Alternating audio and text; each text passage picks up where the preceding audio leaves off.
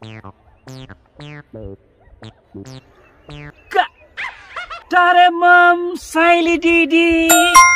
जानकाजी भाइ नमस्ते नमस्ते।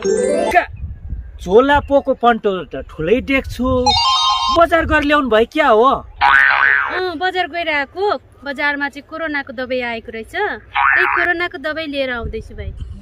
कोरोनाको दबाई? कोरोनाको दबाई। हेरौँ त के रहेछ ल कोरोनाको दबाई?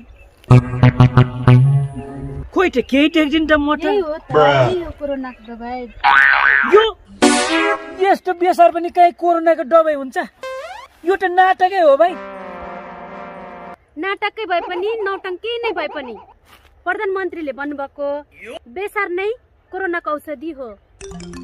त्यो त अस्ति मैले पनि समाचारमा सुने ल्या जस्तो लाग्यो। अस्ति मलाई पनि कोरोना भएको थियो? कोरोना? तपाईँलाई? यही बेसार खाएर भयो।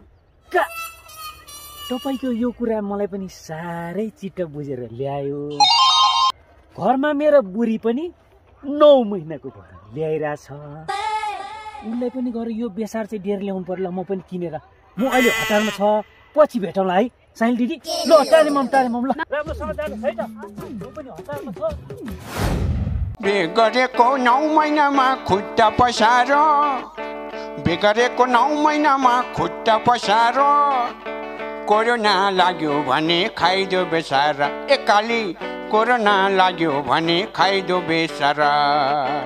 बेगरेको नौ महिनामा खुट्टा पसार। बेगरेको नौ महिनामा खुट्टै पसार। कोरोना लाग्यो भने खाइदो बेसार। एकाली कोरोना लाग्यो भने खाइदो बेसार। तिमीलाई चट हुन्छ तिमीलाई चट हुन्छ। हरियो फुफु।